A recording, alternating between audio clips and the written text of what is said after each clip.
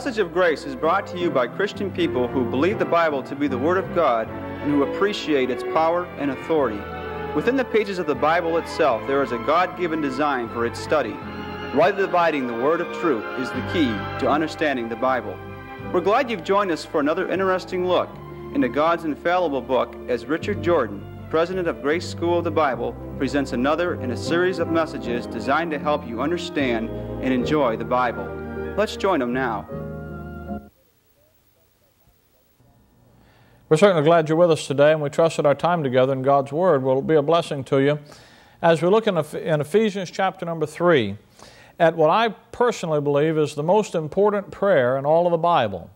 Uh, you know, if you would ask someone, well, what, what, are, the, what are the most important prayers uh, in Scripture? Somebody's going to say, well, the, the so called Lord's Prayer, uh, our, the Our Father prayer. Uh, that's the official prayer of religion today, uh, at least Christendom today. And, uh, and yet there, there are, there's a lot of strange things about praying the so called Lord's Prayer. I don't know if you've ever looked it up in the Scripture, but in Matthew chapter number 6, where that uh, prayer is recorded, the, the, the, two verses just before it tell you not to repeat it. Uh, Christ says, don't pray like the heathen. That is, you just learn and memorize and, and, and just vainly repeat the same words over and over and over. Prayer in the Bible is not just the recitation of memorized uh, verses to God. Prayer is just simply talking to God. And if your prayer life consists of just repeating, uh, I was raised in a church where uh, every Sunday morning, the, the pastor had what was called a pastoral prayer.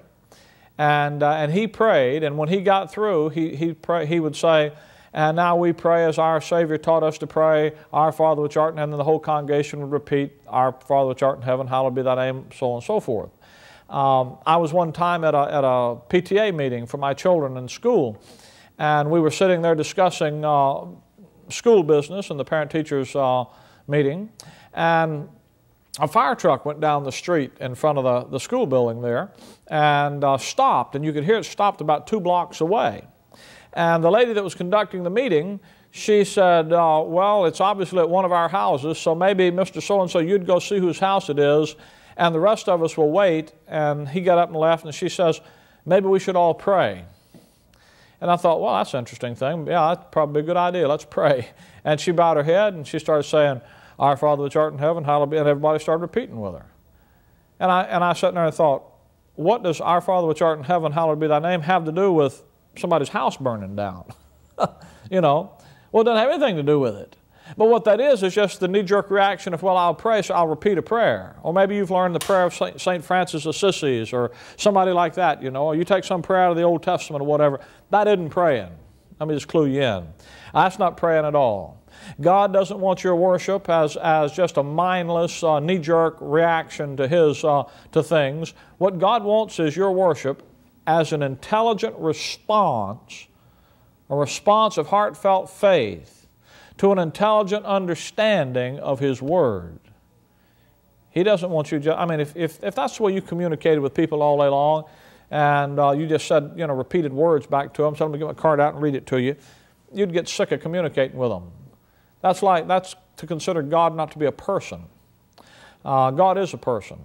And prayer is, a divine operating asset that is given to the believer to work in, in, in consort with the Word of God, whereby you and I can be empowered by the Spirit of God, whereby God the Holy Spirit can energize and empower our lives and cause the doctrine and the, uh, the, the understanding of who we are in Christ to live in us for God's glory. It's a great asset. And the Holy Spirit empowers the lives of believers. One, through the Word of God. He empowers us from within. Ephesians 3, verse 16 says, He strengthens us with might by His Spirit in the inner man. And this prayer in Ephesians 3, in, in my mind, as I think about the prayers of the Word of God that are important and necessary to understand, I think this is probably the most important prayer in all of Scripture. And I know it's important for you and me to understand.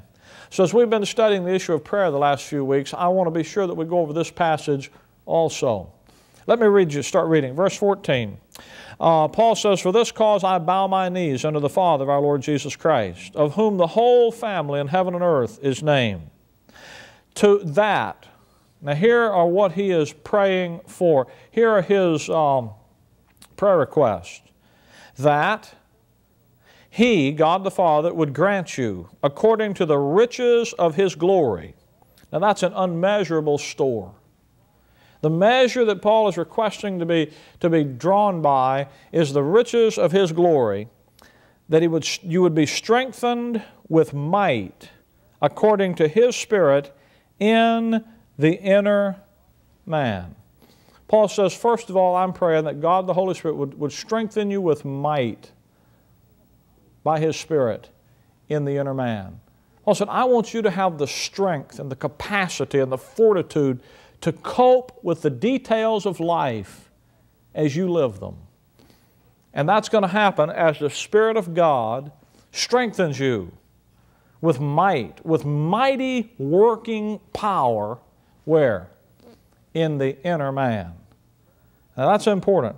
Not in the outer man, but in the inner man. Not in the, in the outward physical fleshly circumstances and life not by keeping a car from running over you or, you know, that kind, but in the inner man, an internal. Though our outward man perish, he says, the inward man is renewed day by day.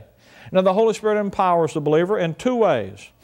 First of all, He empowers you, well, He, he, he empowers you by the Holy Spirit. But the Holy Spirit empowers the believer through the Word of God. If, and I, am not an artist to draw, uh, to draw somebody, but if, if I were to draw you, or me. Maybe I should draw, looks sort of like Ross with the big ears. But uh, if I was to draw us, you know, and, and uh, here we are, and uh, a person, and, and you're gonna, you're, you're gonna, gonna be here, and uh, you hear the Word of God. You hear the Scripture. You hear what God says, and, and, and God, God, the Holy Spirit, works through His Word. So the, the Word of God, you take in the Word of God uh, in, into your, your mind, uh, into your spirit. The Spirit of God, the Word of God comes in. You have a, you have a will, and that will is a function of what the Bible calls your heart. Now, your heart is the mentality of your soul. And your heart has, has some, some, some, some things uh, that are involved in it, your soul, uh, your inner man. And that will takes that doctrine takes that Word of God that your mind hears and perceives. It is your will that reaches up and takes that, and with the heart, man believes. Your will takes that information, that Word of God that comes in, and transfers it down here into your soul. Transfers it down in here into the file and in the, and in the, the storage system of, of your soul. Now, the, your conscience, you have a conscience. And your conscience is a function of your, of your heart. And what your conscience does is your conscience takes your, your activity, uh, your, your current performance, what you're thinking and what you're doing, and your conscience evaluates your current behavior based on the information that's stored up in, this, in, this, uh, in your soul down here. Now, the way God the Holy Spirit empowers a believer is through the Word of God. God the Holy Spirit resides in the, in, in, in the believer. You have a new nature.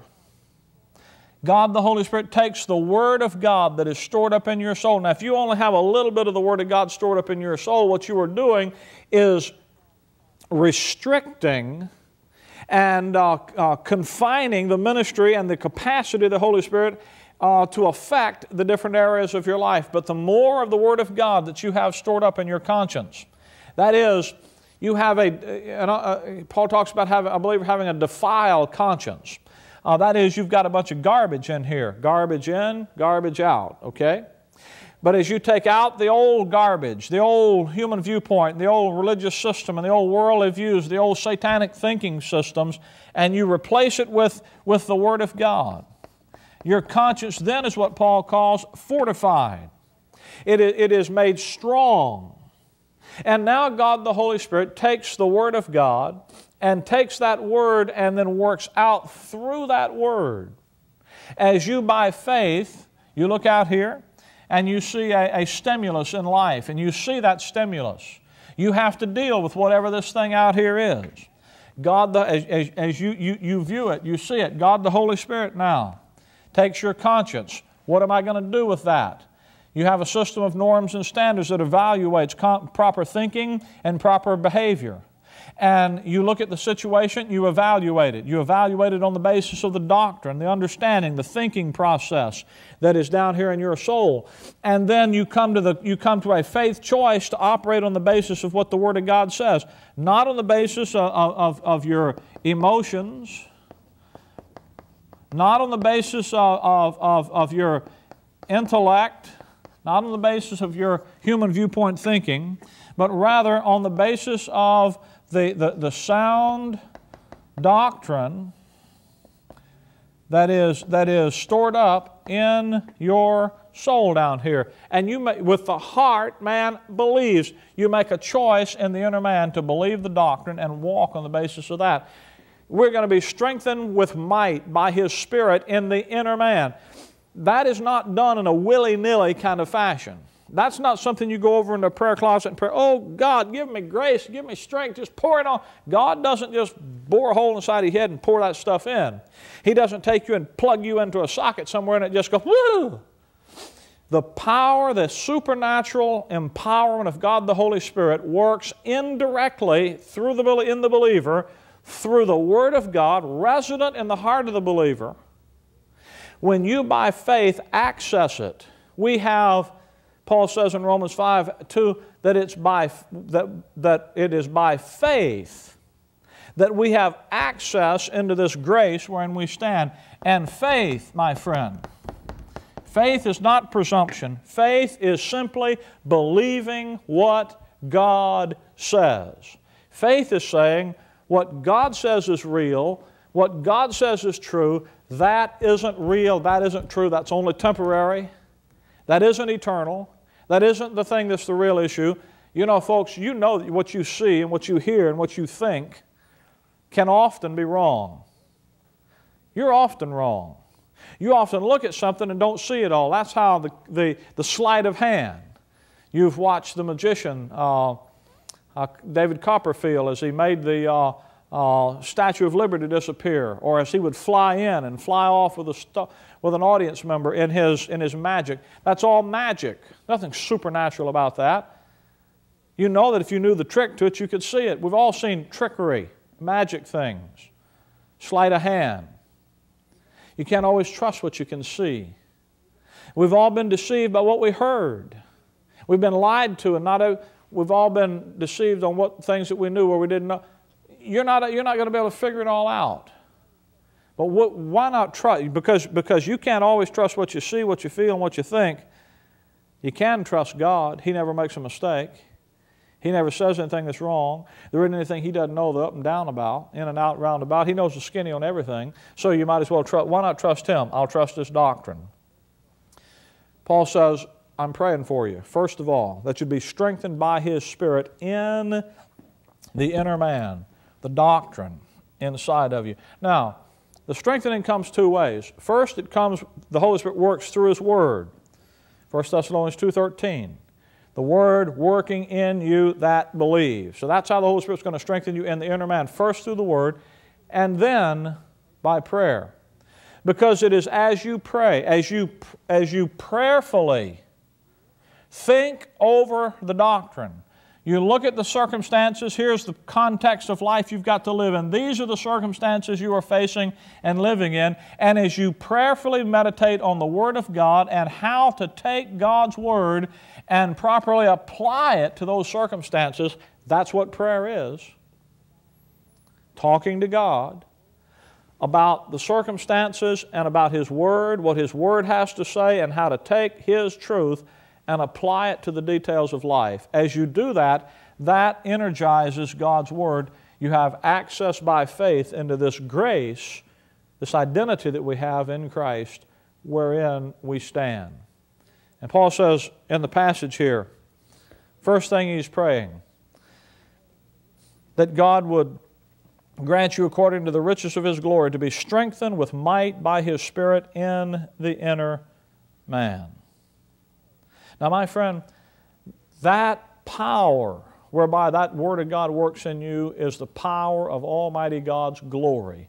There's nothing, there's no circumstance in life that you can't cope with because God has made you more than adequate. He says we're more than conquerors through Him that loved us. In Christ, every victory is already mine.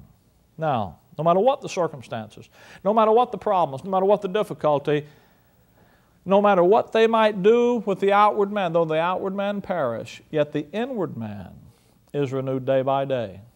And you see, it's through this thinking process whereby I look at the circumstances and that causes me to prayerfully meditate on God's Word and think through how that Word can best be applied to the details of my life. As I do that, I'm releasing and energizing that, the, I'm releasing the, the power of the Spirit of God to work in me and through me. And what happens then is that that power of God begins to operate in my life. That's called the renewing of your mind. Paul said, Be not conformed to this world, but be ye transformed by the renewing of your mind. By constantly adjusting your thinking patterns to the way God is thinking. Then he goes on in verse 17, the next thing uh, not only that you'd be strengthened with might by his Spirit in the inner man, that Christ may dwell in your hearts by faith. You see, for Christ to dwell in you, not just to be in you, but to dwell, to settle down and feel at home, it's going to be by faith.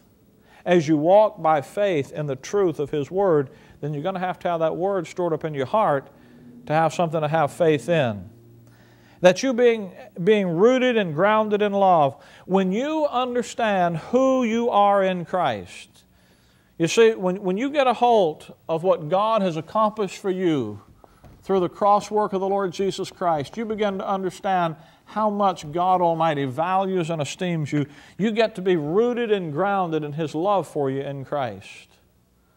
You being rooted and grounded in love. How does that come about? That comes as you store up that doctrine in your soul. You get rooted, firmly fixed where you can't be moved, and grounded. You're settled. There's stability. You're established in the faith as you've been taught. The Spirit of God is empowering the doctrine and the, the, the, the, doctrine about the love and the grace of God to you in Christ. That's the doctrine being, being put up here.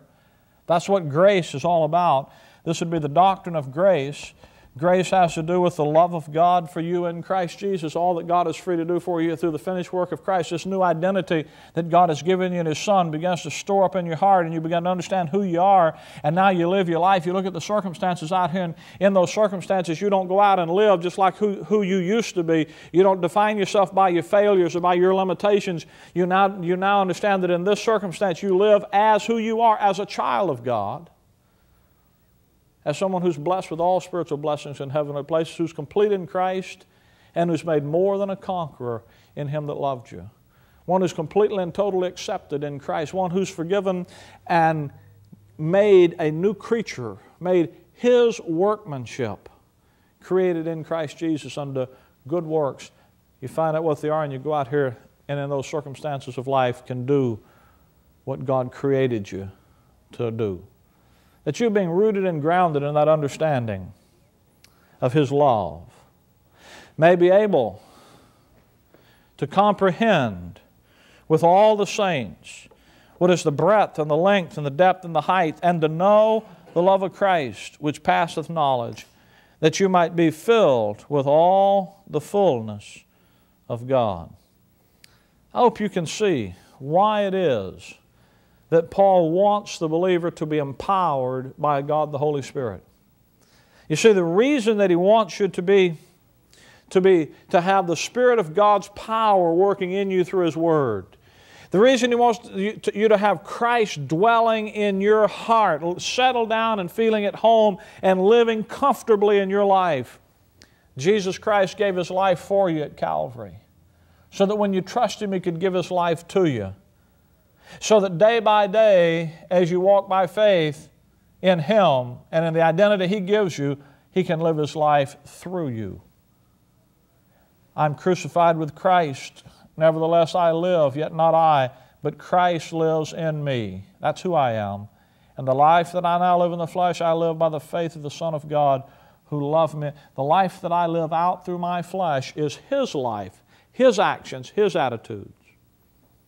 The reason He wants you to have that empowerment. I mean, why does He want? Why, why does He want you? What are you to be empowered to do? You notice in the passage? Big things.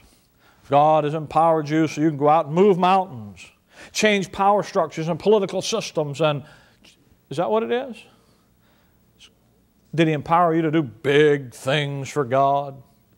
Let's be big or go home. is that what He empowered you to do? Well, it says, verse 18, that you may be able to comprehend with all saints. You know what comprehending is? It has to do with using your mind. Comprehending means to be able to lay hold of something with your mind. And when he says that you may be able to comprehend with all the saints what is the breadth and the length and the depth and the height. When he talks about the breadth and the length and the depth and the height, he doesn't tell you the breadth and the depth and the length and the height of what? Now, a lot of people read the verse and they say, well, it's the breadth, the length, and the depth, and height of the love of Christ. But that isn't what it says. He says that you may be able to comprehend with all the saints what is the breadth and the length and the depth and the height, and to know the love of Christ, which passeth knowledge. The idea is if you comprehend the breadth and the length and the depth and height of something, it's going to give you the capacity to really appreciate what it is God's doing and how much God really values and esteems you. Well, tell me, what is the subject of the book of Ephesians? I mean, you know, if you, if you say something, for example, if you say, shut the door, the subject of that sentence is not there. The subject is you. We say in grammar that it's you, it's an understood subject. When he didn't put the subject in there, that you might comprehend with all saints what is the breadth, the length, the depth, and height, he expected you to know what the subject was. What's the subject that he's talking about in the book of Ephesians that he's now praying that you could comprehend? Well, look back down through the first four, five, six, seven, eight, nine verses of Ephesians 3, and it'll tell you he's talking about the mystery program. He's talking about this great program that God has, has revealed through the Apostle Paul to us called the mystery. And it has to do with forming the church, the body of Christ, out of a bunch of lost, hell-bound, and hell-deserving sinners, Jews and Gentiles, bond and free, placed together on an absolute equal basis through faith in the finished work of Jesus Christ. Placed together in a spiritual unit of believers called the church, the body of Christ. And he said, I want you to understand the breadth of that. It starts before the foundation of the world when God planned to do it, chapter 1, verse 4. It extends out into the eternity future out there in the, in the ages to come uh, chapter 2, verse 7. Hence, it's called His eternal purpose. How broad is it? Eternity past to eternity future. That's how broad it is. The, the breadth, the length. That's how long it's going to last, folks. It's an eternal thing. The depths. You know how deep it is? Chapter 2 says he reached down and took, took people who were by nature the children of wrath. That's how deep it went right down to the place where He grabbed a hold of you and me, who are dead in sins and trespasses, walking according to the course of this world, not seeking after God, not loving God, not wanting Him. But He reached down to the miry clay in the depths of sin and saved you. And the heights, what are the heights? That's the heights that's making us sit together in heavenly places in Christ. He's going to actually take you and me and exalt Himself through us out through the heavenly places themselves. When you begin to grasp the grandeur, the length, and the breadth, how wide it is, no one is accepted. The depths of how low He reached to get you, and the heights of how high He's exalted us. Then you be able, then you begin to appreciate how much God values and esteems you, then you'll never let someone come along and say, Well, if God really loved you, He wouldn't let that circumstance come along in your life. Then you can comprehend and get a hold of the value and esteem that He has for you, and then you can be filled with all the fullness of God. Would you like for God to control your life today? Would you like to be filled with all the fullness of the divine Godhead? That word being filled with it, it just means to be saturated with it to the place that it controls and dominates your life. To be controlled with the fullness of God, folks, is simply another way of saying just to be controlled by the love of Christ for you. You see, the control of Christ comes in your life from an understanding of His love to you. As you begin to understand the love and grace of God to you, all that God has provided for you through the cross work of Calvary begins to settle down and feel at home in, in, your heart. And you stand by faith on that. That truth of who God has made you in His Son begins to control your thinking, begins to control your life. And as it does, and you begin to comprehend the value that God has for you and how He's using you to honor and glorify and accomplish His purpose, His eternal purpose. You are His workmanship, created in Christ Jesus unto good works, which He before ordained that we should walk in them.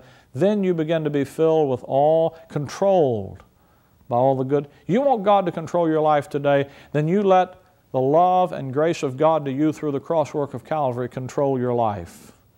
You live your life as who God's made you in His Son.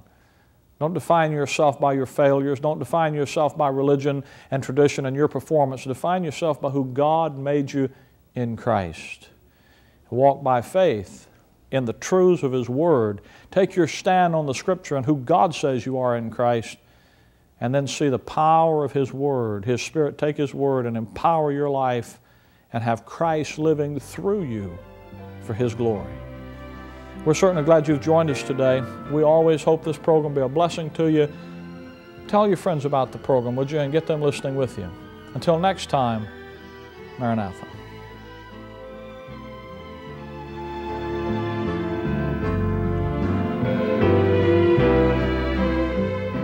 Thank you, Brother Jordan, for that message from the Word of God.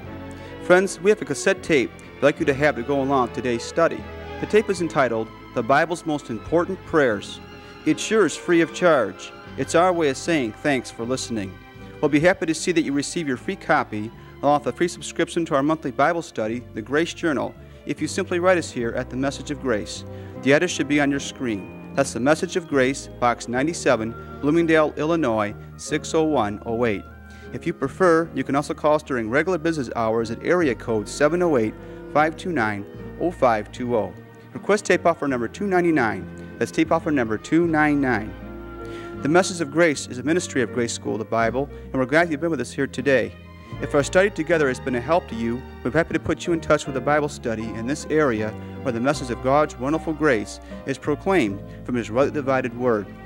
And friend, if you are still not sure of salvation, that your sins are forgiven, and that you have eternal life as a present possession, let us know. We're happy to send you some gospel literature that will show you the way. That address again is the Message of Grace, Box 97, Bloomingdale, Illinois 60108. Thanks for being with us today, and God's best until we meet next time for another Message of Grace.